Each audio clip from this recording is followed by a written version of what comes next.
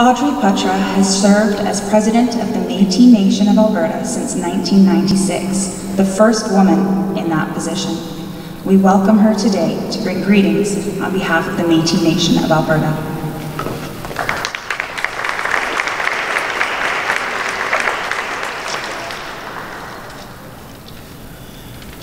Thank you very much. Wow, what a beautiful day.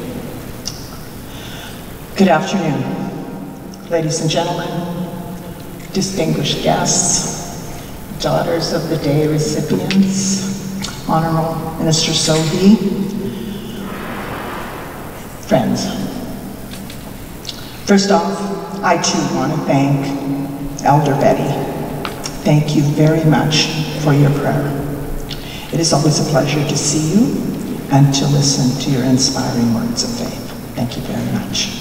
And I do want to say thank you to the organizing committee. I know it takes a lot of work and a lot of time to put an event like this together, so thank you very much. And it is an honor to bring greetings as president of the Métis Nation of Alberta on behalf of our provincial council, our staff, and our members. We fully support the initiatives like Daughters Day, initiatives that celebrate the lives of women who a lot of times work in the background to ensure that other women can get the support and the encouragement that they need to succeed in life. Women who sacrifice a piece of themselves so others can prosper. And to each and every one of you daughters being celebrated today, on behalf of the Métis Nation, I want to say thank you, thank you, thank you. Thank you for your hard work and your dedication. You have brightened many lives.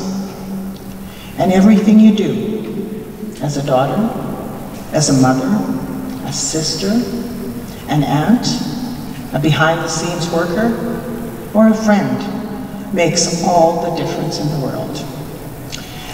And it is also very lifting for me today that you are recognizing one of our Métis citizens that we are very proud of as well, Rochelle Venne. Just this,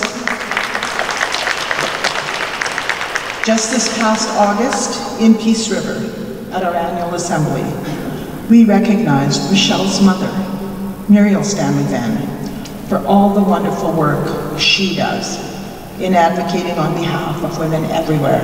And I see Muriel sitting proudly behind her daughter.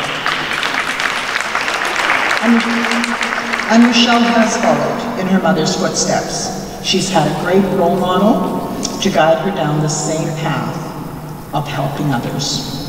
So I want to say congratulations, Michelle, and I want to say congratulations to all the daughters of the day. I hope you enjoy your special day and the special year. Thank you very much.